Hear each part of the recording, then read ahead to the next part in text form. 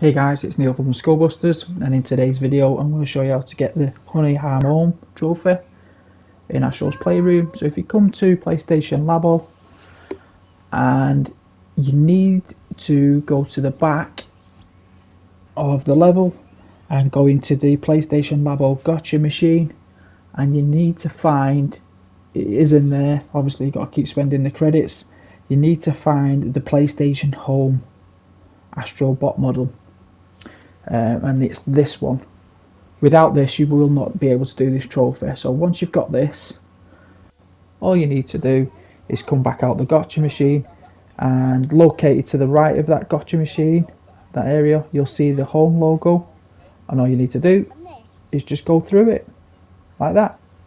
So thanks for watching guys. I hope this guide helps and I'll see you next time.